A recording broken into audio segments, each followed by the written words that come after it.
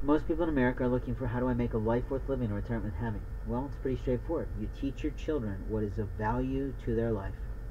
And when you don't teach their children in an intelligent, educated, calm, cool, and collected manner, you prove that you're not intelligent enough to parent one, have one, or have had sex in the first place.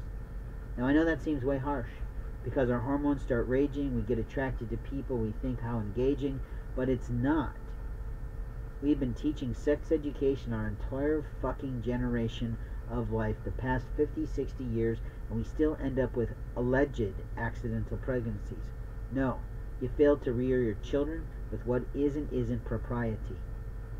So basically, you failed your child. Congratulations. Your child also failed because they didn't realize the cost of having a child. Because you're not bashing them over with a consent, you're not preparing them for life.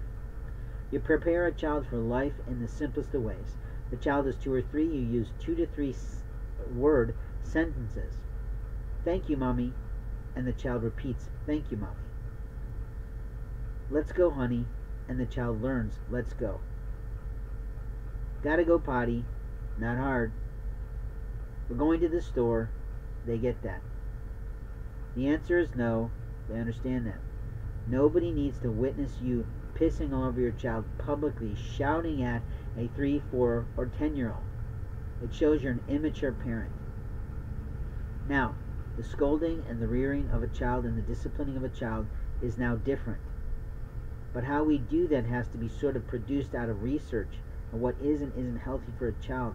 And something that's healthy for one child may not be healthy for another child. And if you haven't learned to regard the differences of your children that you've decided to create from the Lord's house, then you're a fool.